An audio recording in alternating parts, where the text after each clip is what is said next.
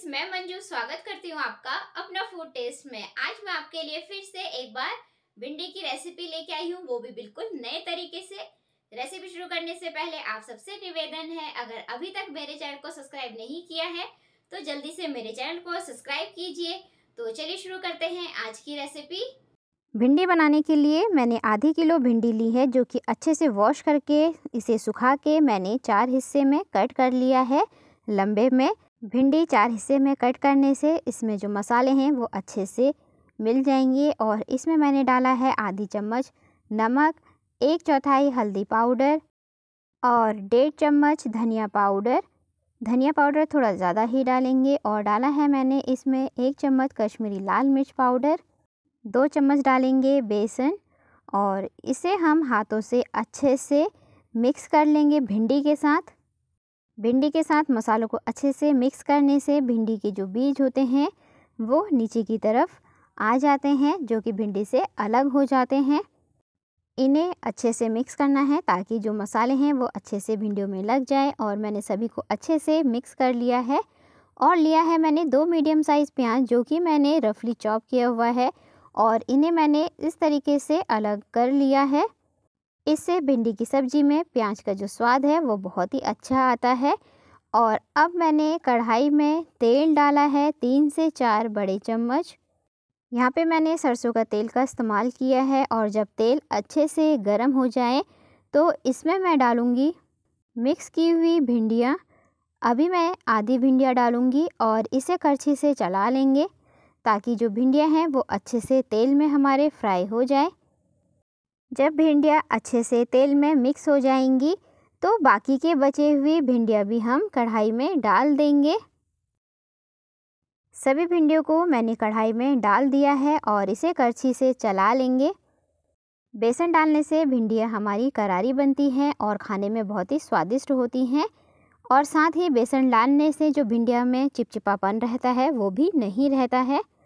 भिंडियों को हम medium flame पे खुले में पका लेंगे पाँच से सात मिनट के लिए। भिंडी को हमें अभी ज़्यादा कुक नहीं करना है, सिर्फ़ फिफ्टी परसेंट तक ही हमें भिंडियों को पकाना है और बीच बीच में हमें भिंडियों को चलाते रहना है ताकि भिंडियाँ अच्छे से पक सके और भिंडियों को हमेशा मीडियम फ्लेम पे ही पकाएँ, वो भी खुले में। अगर ढक के पकाएँगे तो जो भिंडियाँ हैं वो चिपचिपी हो जाएँगी। मिक्स करने के बाद फिर से हम इसे दो से तीन मिनट के लिए खुले में पका लेंगे और इसे बीच बीच में चलाते रहेंगे।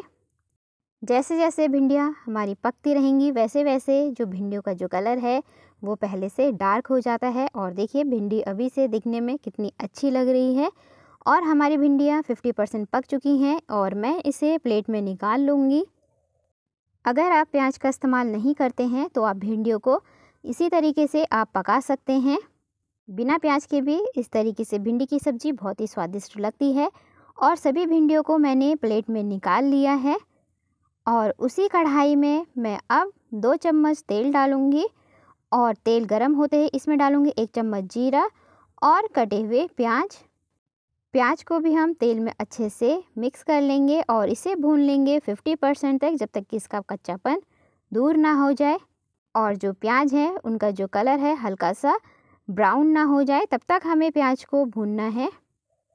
ये देखिए, प्याज हमारे 50 परसेंट भून चुके हैं और अब मैं इसमें डालूँगी फ्राई किए हुए भिंडियाँ। सभी भिंडी को हम कढ़ाई में डाल देंगे और इसे प्याज के साथ अच्छे से मिक्स कर लेंगे। यहाँ पे हमें भिंडी को प्याज के साथ अच्छे से पकाना है मीडियम फ्लेम पे। जैसे जैसे हम भिंडी और प्याज को पकाएँगे, जो प्याज है वो भी अच्छे से पक जाएगा और इसका जो कलर है वो भी चेंज हो जाएगा। और इसे मीडियम फ्लेम पे पकाएँगे और बीच बीच में हम इसे चलाते रहेंगे। अगर आप चटपटा खाना ज़्यादा पसंद करते हैं तो प्याज भूनते समय आप हरी मिर्च का भी इस्तेमाल कर सकते हैं। भिंडियाँ हमारी प्याज के साथ सेवेंटी परसेंट कुक हो चुकी है और अब मैंने यहाँ पे आधी चम्मच और नमक डाला है। और आधी चम्मच डाला है मैंने यहाँ पे गरम मसाला और एक चम्मच डाला है आमचूर पाउडर। ध्यान रहे, नमक हमने पहले भी डाला है तो नमक ज़रा ध्यान से ही डालिएगा और इसे अच्छे से मिक्स कर लेंगे और भिंडियों को हम मीडियम फ्लेम पे पका लेंगे खुले में, जब तक कि भिंडियाँ हमारे अच्छे से कुक ना हो जाए। भिंडी हमारी लगभग 90 परसेंट पक चुकी है और इसे मैं एक बार फिर से चला लूँगी। आप इस तरीके से भिंडी को स्टेप बाय स्टेप बनाएँगे तो आपकी जो भिंडी है खाने में बहुत ही स्वादिष्ट बनेगी। और जब भी आप भिंडी की सब्ज़ी बनाएँगे तो फिर हमेशा इसी तरीके से ही भिंडी को बनाएँगे। और यहाँ पे भिंडी की सब्ज़ी पक चुकी है और मैंने गैस कर दिया है बंद। और बंद करने के बाद भिंडी को निकाल लूँगी मैं एक प्लेट में। ये देखिए, लग रही ना भिंडी की सब्ज़ी, बहुत ही टेस्टी देखने में, जो कि बनी है एकदम कुरकुरी। और खाने में सबको बहुत पसंद आने वाली है। भिंडी का सीज़न है तो क्यों ना आप इस रेसिपी को घर पे ट्राई करें और मुझे कमेंट करके बताएँ कि आपको ये रेसिपी कैसे लगी है। रेसिपी के लिए एक लाइक ज़रूर कर दीजिएगा और फ्रेंड्स के साथ ज़रूर शेयर कीजिएगा और चैनल को सब्सक्राइब करना बिल्कुल मत भूलिएगा। तब तक के लिए tata bye bye take care.